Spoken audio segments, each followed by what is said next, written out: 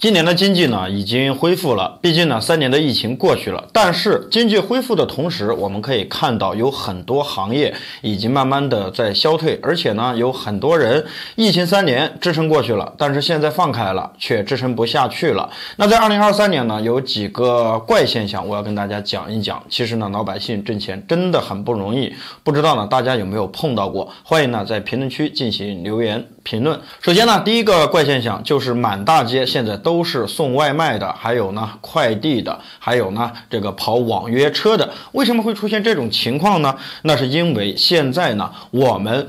工厂要的人比较少，而求职的人又很多，那怎么办呢？而我们是需要生活的，是需要挣钱的，那只能够呢做这些自由职业。我们知道呢，这个外卖员、这个网约车，还有这个快递行业，只要你身体健康，只要你肯吃苦，就能够赚得到钱。因为毕竟呢，它没有太大的门槛，没有呢学历要求，只要求你能够认识字，你能够呢有最基本的认知就可以了。这种工作呢，只要能吃苦，挣的也多，而且呢时间。间也自由，现在呢已经放开了生育，在前两年呢有人已经生了二胎，那这个时候呢正是需要钱的时候，那怎么办呢？又要挣钱，又要照顾家里，就会呢选择这些时间比较自由的活儿去干。还有一点呢，有很多人想要补贴家用，于是呢趁晚上下班的时间去跑网约车。但是我们现在也发现一个很奇怪的现象，那就是呢坐车的人少，但是呢从事代驾或者网约车的这个人是越来越多，所以呢整个行业都是。是饱和的，那么我们挣钱就会越来越难。还有呢，第二个怪现象就是说呢，我们现在满大街看到的都是药店，药店比饭店还要多。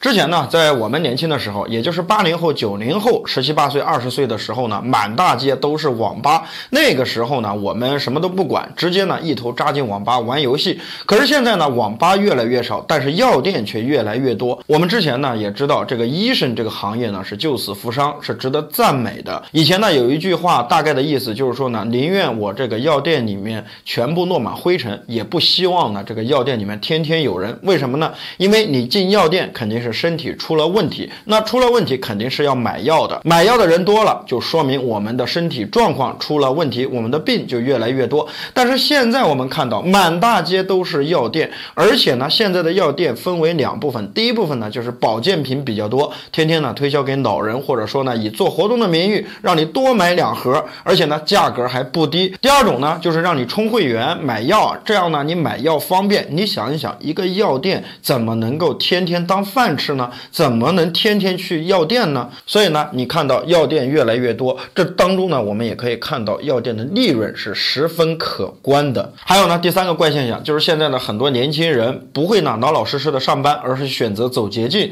做网络自媒体当网红，觉得呢这是赚钱快的。唯一途径，于是呢，我们可以看到现在直播行业的人越来越多，直播卖货的也越来越多，这是一个好现象吗？其实呢，我觉得这是一个双刃剑。为什么说呢？因为如果你直播卖货的话呢，可以省略中间环节，我们作为普通的这个消费者，可以呢买到很便宜、性价比高的东西。但是呢，如果另外一方面监管不到位的话，这些网红呢，或者说带货的，可能呢会违背初心，用一些假冒的。产品呢，以次充好，或者说呢，挣了钱偷税漏税，这些呢都是需要大力监管的。但为什么现在很多人选择去做自媒体呢？两个方面的原因。第一个方面呢，有些人在这里面看到了红利，挣的钱很多，而且呢比打工上班还要自由很多。第二个方面呢，你想一想，很多人在厂子里面上班，一个月也就是三四千块钱，可是呢，有人通过做自媒体，一天呢能够赚个二三百块钱，那一个月呢就是五六千块钱，而且时间还。自由，那干嘛还要去上班呢？所以你会看到，现在从事网络的这个人越来越多，不管是做自媒体，还是拍视频，还是带货，等等等等，都越来越多。还有呢，第四个怪现象就是现在的工作越来越难找。为什么会出现这种情况呢？其实和我们现在的大环境有关，也和我们现在整体的行业转型有关。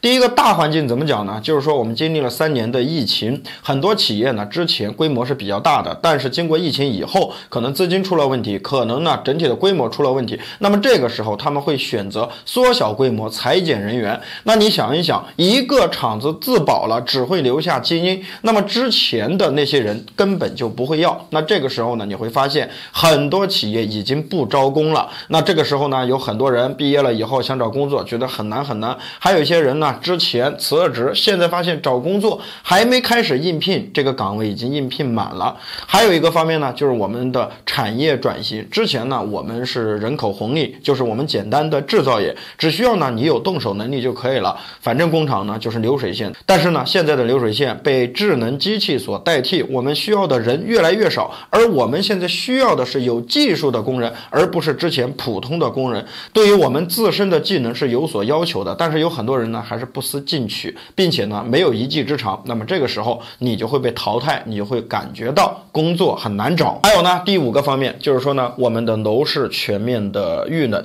虽然呢现在大家都需要房子，但是呢大部分人选择的还是观望，不像前几年楼市这么火热。为什么会出现这种情况呢？归根结底还是我们的楼市没有调整好，而且呢现在买一套房子的价格并不便宜，很多家庭呢目前还有负债，根本都没有缓过来。所以呢，即使现在我们看到所有的楼市政策已经完全放开，但是呢还是有很多家庭买不起房子。